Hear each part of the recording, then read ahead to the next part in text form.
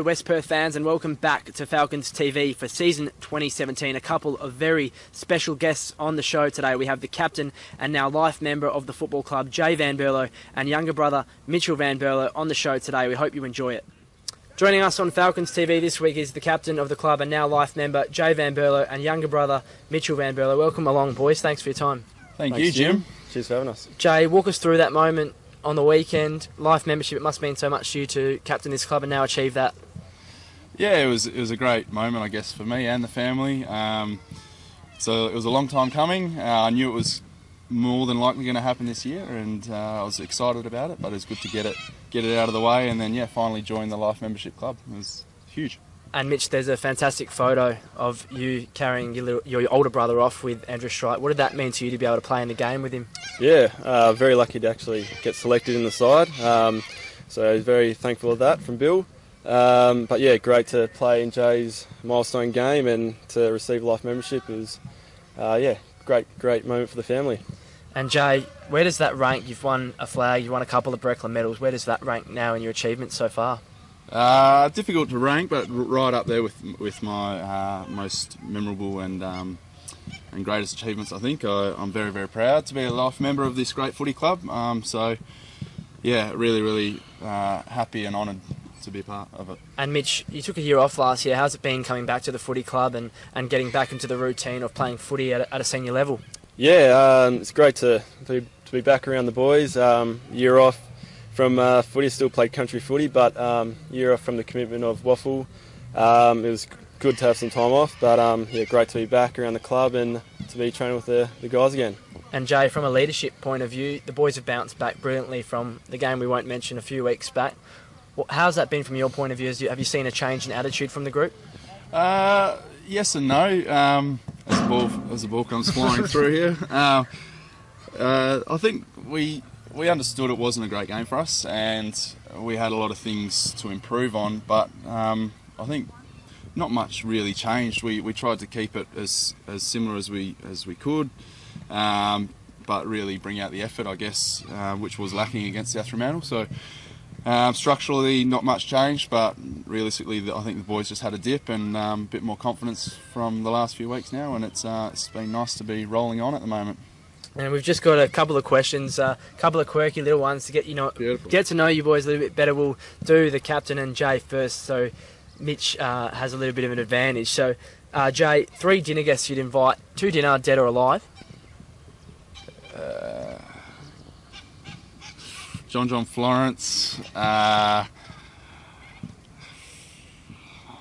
oh, I don't know. Three guests: Will Ferrell and Adam Sandler. Ah, Great work. yeah, Mitch? Okay. Uh, okay, I was going to say Adam Sandler. Uh, I'll let you have it. yeah. Uh, ooh. I'll go Chris Judd Okay. and Jen Hawkins. Fair answer. If you had a superhero power, what would it be? Uh, time travel. Mitch. Average. Uh, invisible. Fair. Uh, if you had an autobiography, what would you? Uh, what would be the name of your autobiography? As as what? Then what, what would you What would you name the title of How your would I title it? autobiography? The king is here. Modest. Mitch. Life of Grub. How sweet it is. Uh, all-time favourite band, Jay. Uh, oh, I don't actually know. I've- I'm a bit of a bit of everything. Um, It's not good enough. yeah, I don't know. I'll, We'll come back. uh, We'll come yeah. back. I'll say. I'll say Violent Soho. Okay. Yeah. Australian rock. different. Yeah. Nah, nah, bit of everything. Okay. Average. So we'll let you go. You're the captain of the club. Sorry, we'll let you mate. off. Um, if you had to change your name, what would you change it to? Uh, Jason. Change your name. Yep. yeah, you If you had- definitely want to. Jeez. Uh, Kelly.